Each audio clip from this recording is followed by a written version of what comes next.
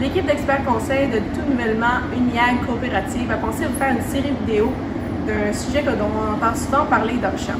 Après avoir publié plusieurs articles dans nos Coop Express ces dernières années au sujet des rations à haute teneur en maïs ensilage, plusieurs questionnements restent. Voici donc quelques réactions et questionnements souvent qui ont été posés à ce sujet. En tant qu'expert conseil, on se fait souvent poser la question va-t-on avoir assez d'inventaire de, fourrage pour passer l'hiver? Puis suite à la récolte de fourrage pendant la, saison estivale, on se rend compte que la, récolte est pas assez abondante. Puis, euh, en fin de compte, ben, on n'a pas assez pour remplir toutes les sujets.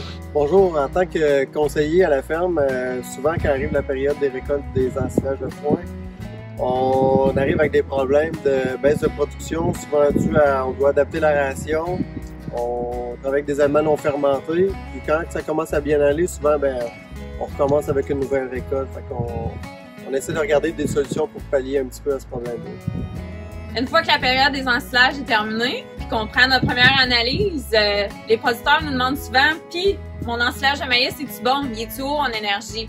Mais c'est pas, l'énergie, c'est pas le seul facteur à considérer.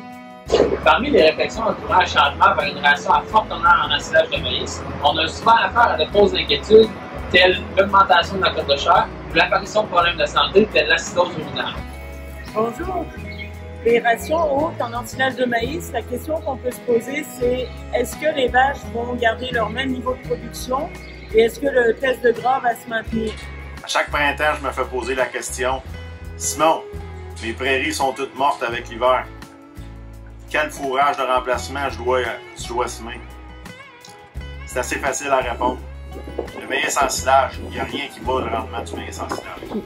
Quand je propose une ration haute en ensilage de maïs, la question qui revient souvent, c'est est-ce que ma ration, au final, va coûter plus cher euh, puisque j'ai acheté plus de concentré protéique?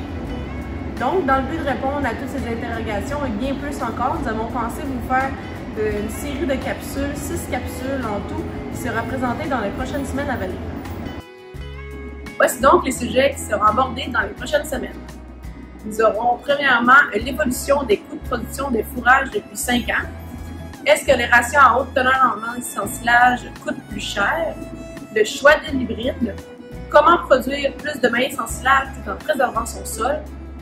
une expérience avec des rotations sans luzerne de, nos producteurs et la rentabilité globale, champ et étape des rations élevées en maïs ensilage. Nous vous encourageons fortement à poser toutes vos questions, soit sur les commentaires de chacune des capsules ou bien en message privé. Et un dernier vidéo sera dédié à répondre à tous vos questionnements à ce sujet.